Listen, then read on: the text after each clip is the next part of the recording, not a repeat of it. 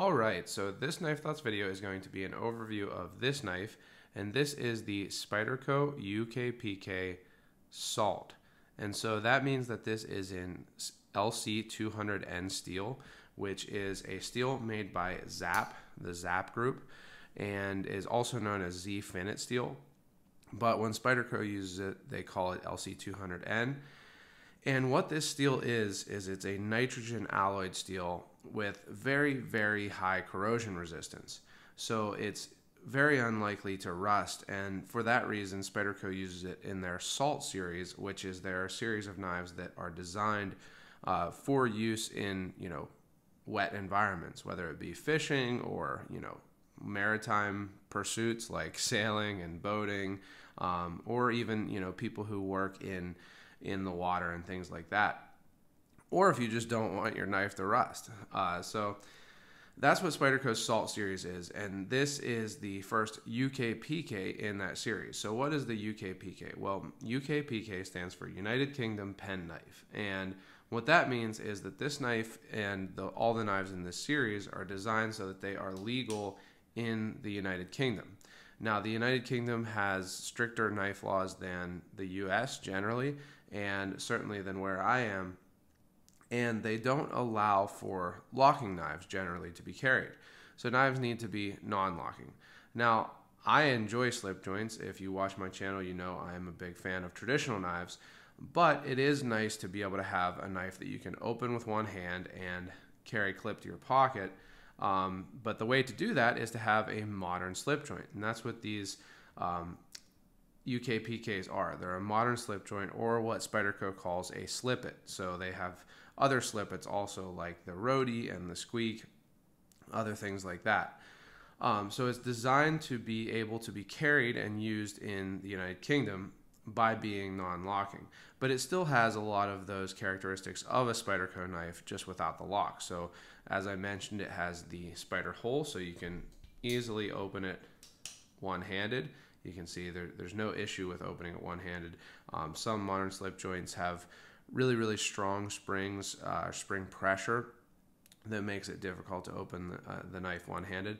Not so here. It's it's easy to open one-handed, and uh, it also it has the clip. So a lot of slip joints don't have a, a pocket clip, and it, it, can make them less convenient to carry. Uh, the Spyderco UK PK still has the clip, so you can carry it just as easily as a locking Spyderco and you know be good to go. And then it also has kind of the classic Spyderco styling. It has a, an ergonomic handle that's designed to fit the hand well. It has a leaf-shaped blade, which Spyderco has kind of become known for. And then it has a high-end steel, uh, like a lot of Spydercos in the LC200N.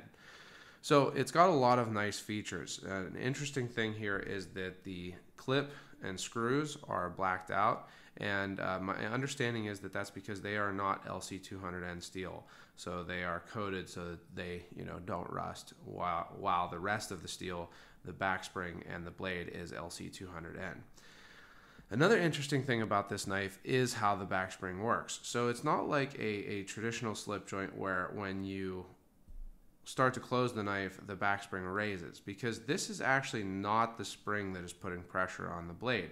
If you look inside here, this is actually a split spring. So it has a, a second bar on the inside that's actually part of the same you know piece of metal, but it's a second bar and that's what actually puts pressure. So as you close the knife, it will raise up again. You can see that and then it sits back down in there to uh, hold the blade in the closed position and also in the open position.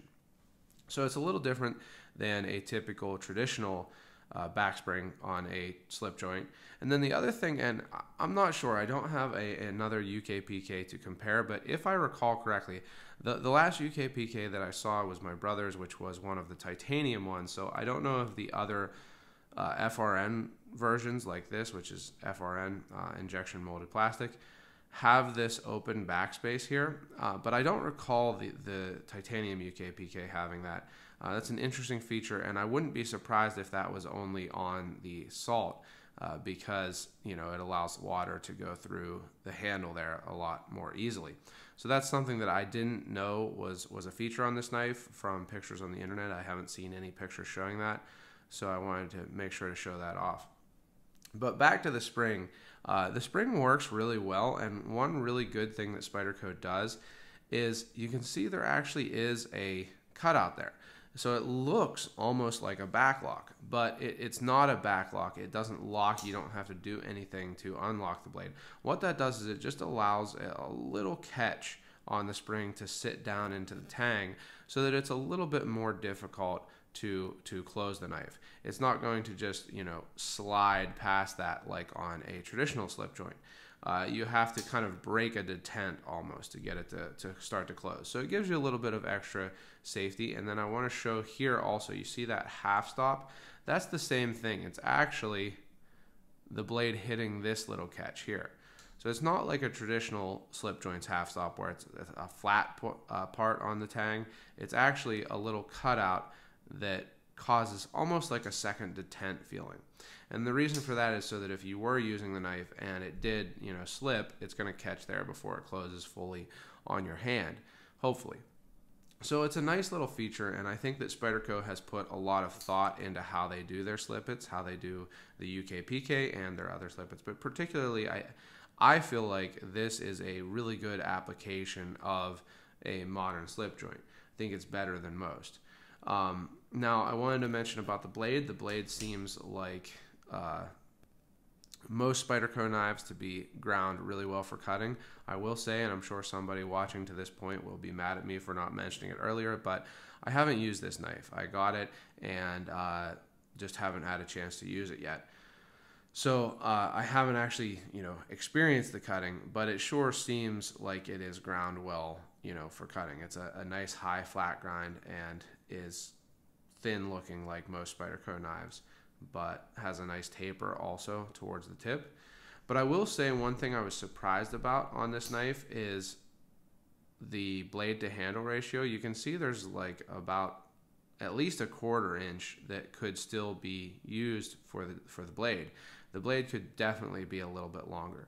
Now, why they do that, I'm, I'm not 100% sure. Maybe it's just that, you know, I don't know if Sal or, or Eric designed this knife, but it doesn't have either of their marks on it. But whoever designed it, maybe they just didn't prefer to have you know the the full length that they could, or um, you know I don't know why they designed it that way. But I did check with the dealer to see if maybe mine was ground a little bit too much or something. But uh, Indiana Knives, which is where I got this, um, said they pulled another one out and it was the same. So just be aware that if you get one of these, it's going to be you know not quite as long as it maybe could be in the in the blade but you still get a pretty good amount of blade. Another reason that they might have done that is for blade length limits. I mean, certainly it's not something I have to worry about, but a lot of places you do have to consider the legality of your blade per its length. So uh, just something I wanted to mention again. Now, uh, I also wanted to say there's no blade play in this at all. Even when I, you know, break that detent past the full open, I don't feel any side-to-side blade play. So it's nicely done, and the action is nice also. You can see it definitely will snap closed.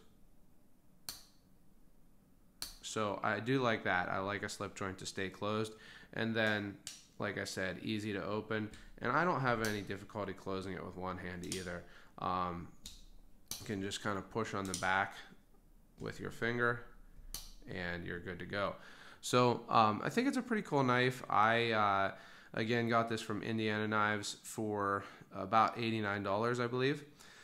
Uh, funnily enough, I couldn't find it on White Mountain Knives where I have a discount code, and then I realized that it was just that instead of UKPK, they have it called the um, UK pen knife. So uh, I just wasn't searching for it correctly. But you can get it for 10% off at White Mountain Knives, and they had it as of available as of you know my recording of this, or you know it's available at other places also. But you can get 10% off, and it brings it down down to about $81 at White Mountain Knives with the code Knife Thoughts. So you know consider using that. And I think it's a cool knife. I think it would be great for a fishing knife if you wanted to, you know, have a de- dedicated fishing knife that you could put in your tackle box or your tackle bag and not have to take out, not worry if, you know, your bag or your box gets wet. It shouldn't rust. Uh, a lot of knives, if you did that, if you left them in the tackle bag or the tackle box and the bag or box got wet, it would probably rust. Um, this LC200N should do pretty well. I also think it would be great for someone, you know, who can't or doesn't want to carry a locking knife uh, and wants to carry a knife that they don't have to worry about. You know, you're not going to have to to worry about it rusting. You can use it, use it on fruit, things like that. Put it back in your pocket without wiping it off, and it should be fine. And then uh, finally, I, I, do think it would it would be good for some you know maritime type things like working in the water. Although in some of those instances, you know maybe the the quite pointy tip and the non-locking wouldn't be ideal. But I definitely think it would be great for, for fishing, which is what I got this knife intending for it as a, as a fishing knife, uh, kind of a dedicated fishing knife.